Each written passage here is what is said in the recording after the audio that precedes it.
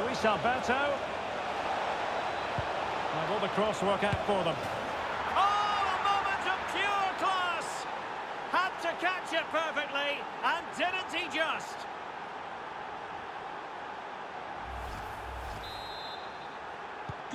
So underway again here on the back of that leveller.